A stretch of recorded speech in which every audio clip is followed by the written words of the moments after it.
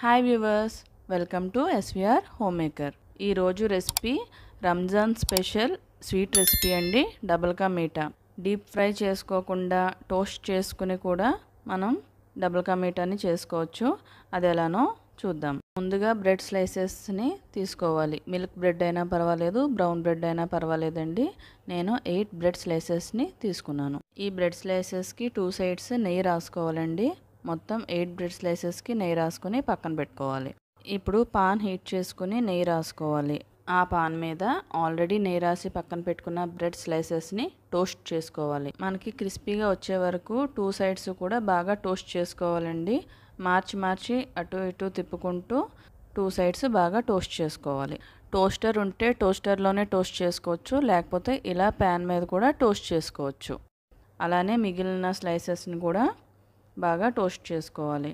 ఇప్పుడు అలా టోస్ట్ చేసుకున్న బ్రెడ్ స్లైసెస్ని నాలుగు ముక్కలుగా కానీ మీకు నచ్చినట్టు ట్రయాంగిల్ షేప్లో కానీ కట్ చేసుకోవచ్చు.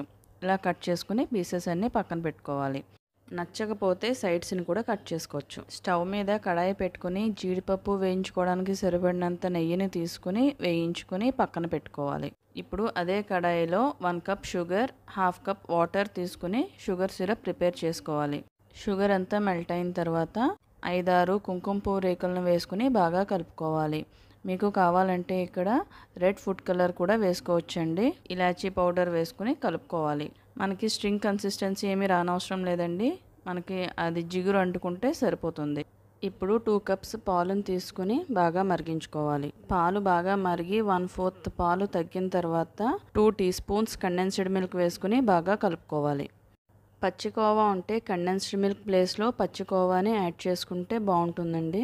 పాలు సగం అయ్యే వరకు బాగా మరిగించుకొని మనం ముందుగా టోస్ట్ చేసి పక్కన పెట్టుకున్న బ్రెడ్ పీసెస్ని అందులోకి వేసేసుకోవాలి. బ్రెడ్ పీసెస్ ములిగేలాగా అద్దుకోవాలండి. గరిటతో బాగా కలుపుకుంటే ముక్క విడిపోతుంది. ఇప్పుడు మీడియం ఫ్లేమ్ మీద పాలు మొత్తం దగ్గర పడే వరకు ఉడికించుకోవాలి. ఇలా దగ్గర పడిన తర్వాత స్టవ్ ఆఫ్ చేసుకొని డ్రై ఫ్రూట్స్ తోటి గార్నిష్ చేసుకుని సర్వ్ చేసుకోవచ్చు. డీప్ ఫ్రై చేసుకుంటే ఎలా ఉంటుందో టేస్ట్. ఇలా టోస్ట్ చేసి వేసుకున్నా సేమ్ అదే టేస్ట్ ఉంటుందండి. మనకి కలర్ కావాలంటే ఫుడ్ కలర్ యాడ్ చేసుకోవచ్చు.